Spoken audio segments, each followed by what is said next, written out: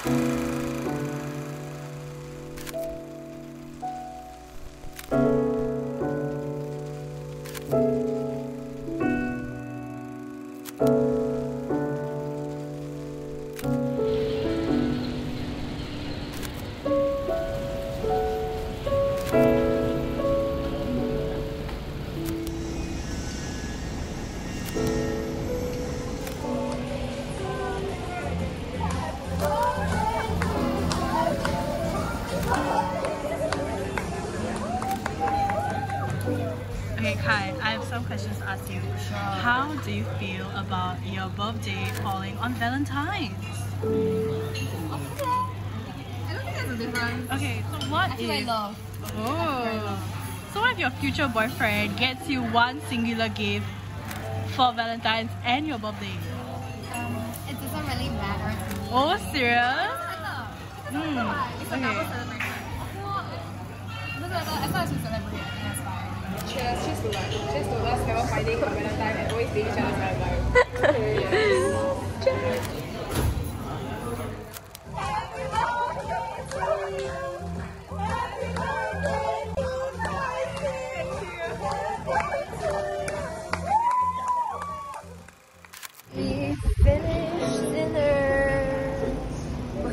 good. Hang on.